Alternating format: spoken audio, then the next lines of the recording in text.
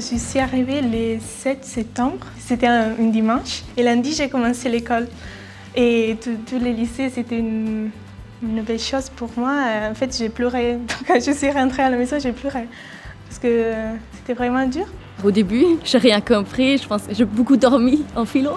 Bah, bon, mais après, euh, après trois mois, euh, j'ai commencé à comprendre. Ma prof de français m'a beaucoup, beaucoup aidé pendant toute l'année.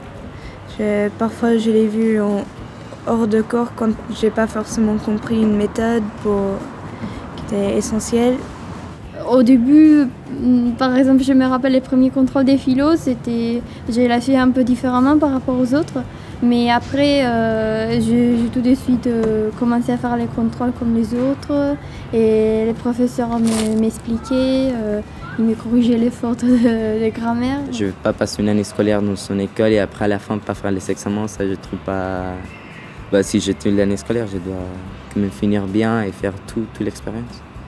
Pour faire l'examen de bac, et moi je ne suis pas très bien en français, peut-être même si le matériel c'est le même, si je ne sais pas comment écrire, pas c'est pas c'est pas la même chose.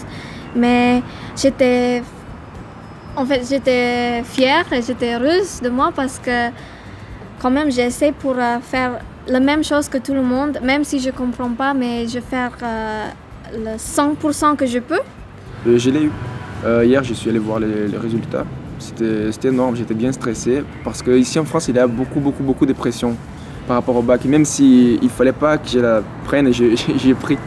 J'étais très stressée, j'ai passé une semaine à réviser tout. J'avais même temps peur de ne pas ne pas avoir bien organisé mes révisions. C'était difficile, mais c'était aussi... Euh, ça fait, pour moi, ça, ça, fait un peu partie de mon expérience et surtout pour me sentir comme une vraie, une vraie Française. Même si j'ai pas le bien euh, note et peut-être le prof m'écrit dans le papier, euh, je ne comprends pas qu'est-ce que tu écris, mais d'accord, tu as bien essayé.